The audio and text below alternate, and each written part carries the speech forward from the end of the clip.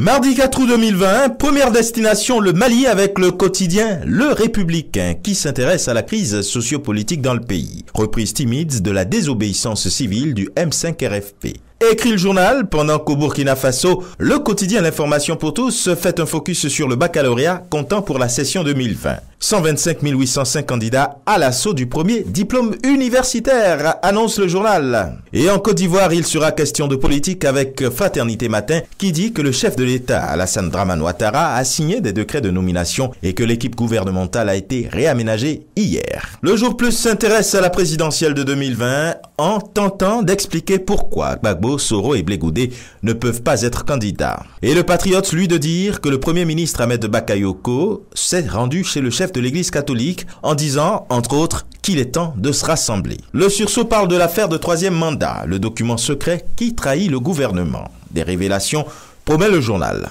Au Cameroun, avec mutation, élection régionale, bataille majestueuse, lit-on. L'instruction du MINAT visant à clarifier la situation à la tête de certaines chefferies traditionnelles donne lieu à des tensions sur fond de marchandage, commente le journal. Pour l'émergence, carnage dans l'extrême nord, la triste passivité de Paul Biya relève et déplore le journal, qui poursuit en disant que pas un mot, encore moins un deuil national, n'a été décrété pour les personnes tuées par Boko Haram. Une actualité que ne semble pas partager Cameroun Tribune, qui, concernant l'attaque terroriste à Mayo Moscota, évoque la passion du chef de l'État. Au Sénégal, le quotidien titre Saccage du journal Les Échos, pure barbarie. Le parti de Seri Mustafassi déclare adresser ses avertissements à la rédaction. Quant à la section de recherche, elle ouvre une enquête. Li quotidien lui informe ses lecteurs que Cheikh Mohamedou Marignas est le nouveau Khalif général d'Enyasen. Ouvert et généreux, loue le journal. Et puis l'observateur qui parle de la crise à la société africaine de raffinage. Sahar de combat au palais. En manchette du Sud quotidien, on lit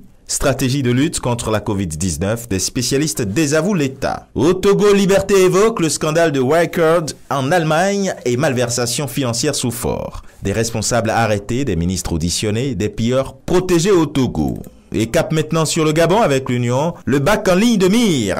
Lit-on, à mi-parcours entre la reprise le 20 juillet dernier des enseignements dans les classes de terminale et le début du baccalauréat le 20 août prochain, les candidats de divers établissements affichaient hier leur confiance au milieu tout de même de certaines réserves nées d'un calendrier scolaire bouleversé par la crise du coronavirus. Le quotidien numérique s'intéresse à la présidentielle en Côte d'Ivoire. Pascal Afinguessin et Albert Mabritoakes ont déclaré leur candidature, annonce le journal. Et enfin au Bénin avec la nation, mesure complémentaire pour la relance de l'économie du crédit pour mieux renforcer les exploitants agricoles. Lit-on. La tribune de la capitale dit que suite à l'invalidation d'un siège des forces Cori pour un Bénin émergent dans le septentrion, le nouveau maire de Paracou sera connu demain. Et le matinal qui s'intéresse au développement du Bénin. Talon appelle à sortir de l'euphorie des indépendances et ce sera tout pour aujourd'hui. Mais encore, prudence, vigilance et surtout, n'oubliez pas les gestes barrières. À demain.